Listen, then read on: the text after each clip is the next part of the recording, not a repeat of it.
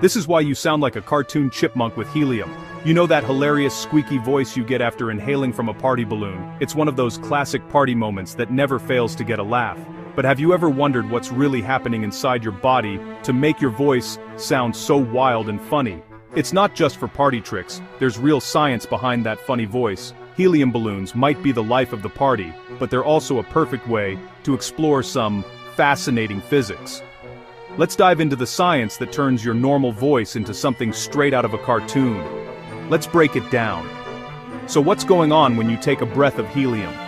When you inhale, you're swapping out the regular air in your lungs for a gas that's much lighter and behaves very differently.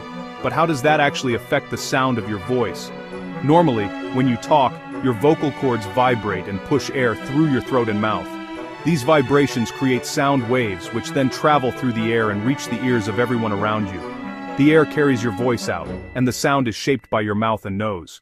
The size and shape of your vocal tract help determine the unique sound of your voice, kind of like how a musical instrument works. But here's the twist. Helium is way lighter than regular air. In fact, helium is about seven times less dense than the air we breathe every day. That's why helium balloons float up to the ceiling while regular balloons just hang around. It's like swapping your heavy school bag for an empty one. Suddenly, things move faster. When you fill your lungs with helium the sound waves your voice creates can travel much more quickly through this lighter gas. In the case of your voice sound waves travel almost three times faster in helium than in air. This means the higher frequencies, or pitches, in your voice get a big boost, while the lower ones don't change as much. That's why, after inhaling helium, your voice suddenly jumps up in pitch and sounds super squeaky. It's almost like you've been transformed into a cartoon character, or like Alvin and the Chipmunks after chugging a ton of coffee. But don't be fooled, helium doesn't actually change your vocal cords. Your vocal cords are still vibrating at the same rate as before. The real change is in how the sound travels after it leaves your throat. It just changes how the sound travels after you speak.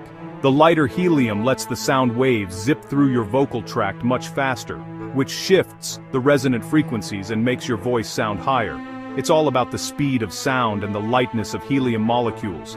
Helium's unique properties make it a fun way to experiment with the science of sound, and it's a great example of how physics can show up in everyday life, even at a birthday party. So, next time you hear a funny helium voice, you'll know it's pure science, not just party magic.